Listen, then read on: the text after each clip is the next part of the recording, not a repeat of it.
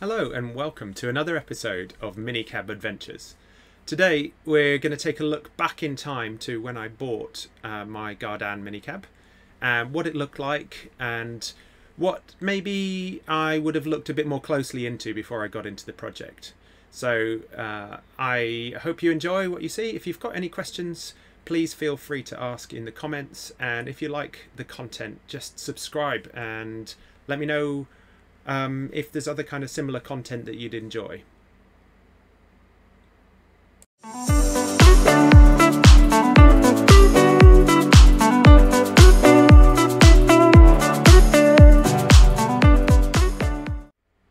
The Gardan, the Gardan GY201 minicab was designed in the 1940s by Yves Gardan.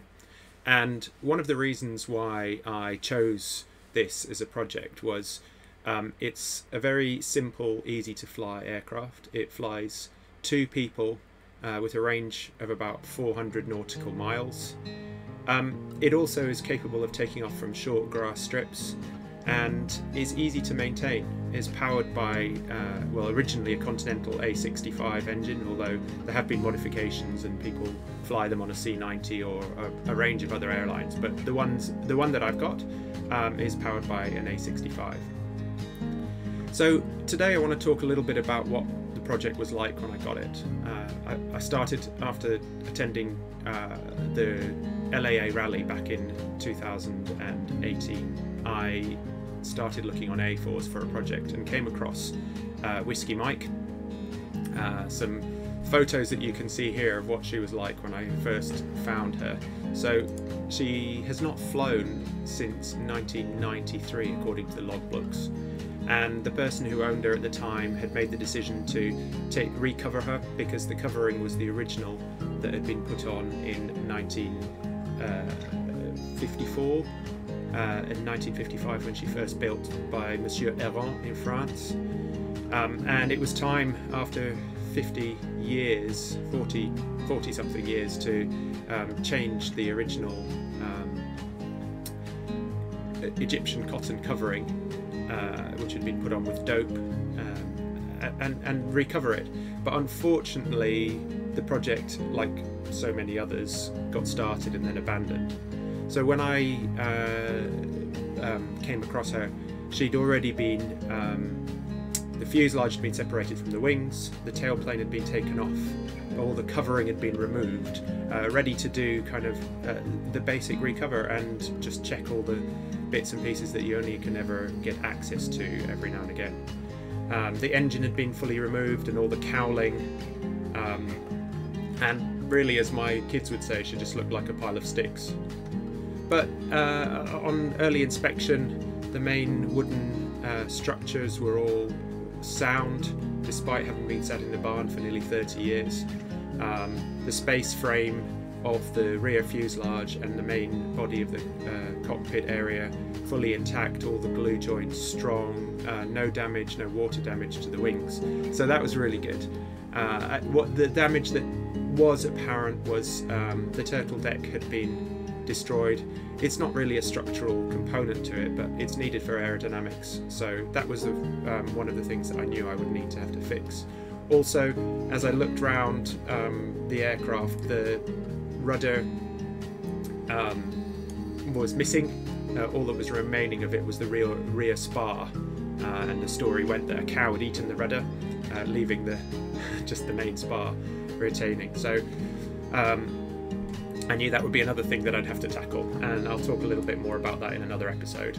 Um, the engine, well, actually, I was quite lucky. The, the, the plane came with two engines, um, and although neither of them are in perfect state, and um, there needs to be some significant inspection for corrosion and things like that, at least there's two lots, and hopefully, out of two, we'll be able to make one good engine.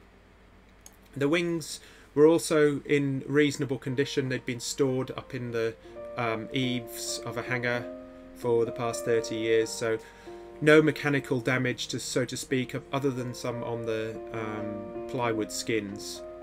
Uh, and and one of the projects that one of the tasks that's still remaining to do before we get it back in the air is to take off the remainder of the ply skins, fully inspect all the joints.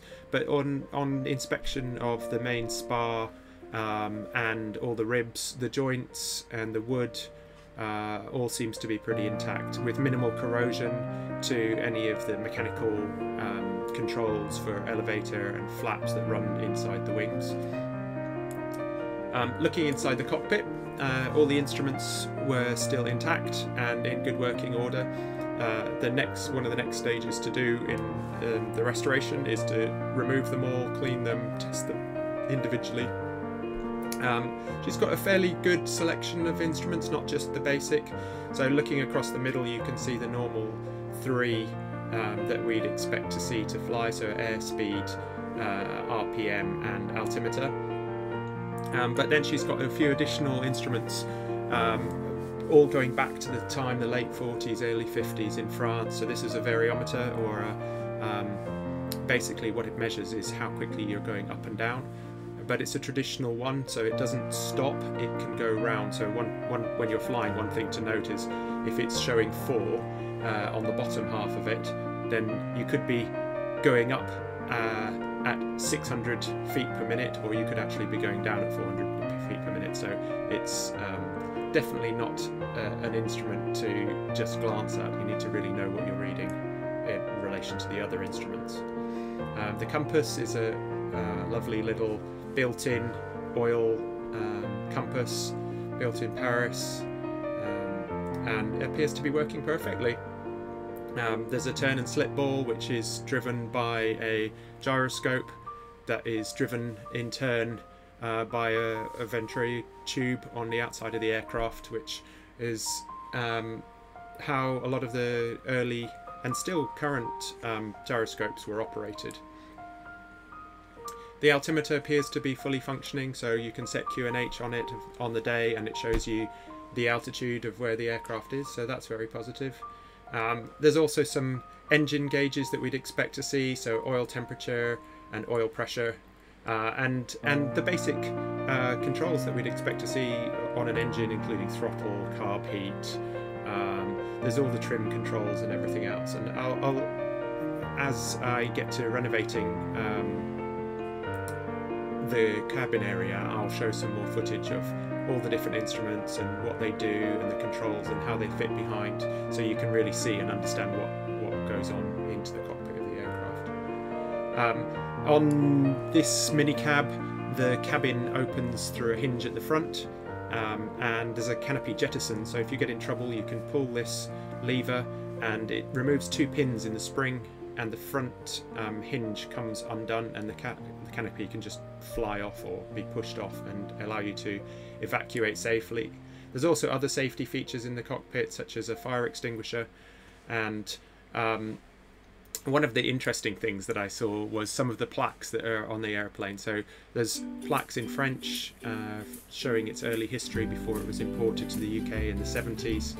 Um, there's interesting little uh, memoir plaques for that previous pilots have put in to remember the different radio frequencies in the area that they were flying in. And what's fascinating is now some of these places being closed um, gives you an idea of the vintage uh, of the airplane.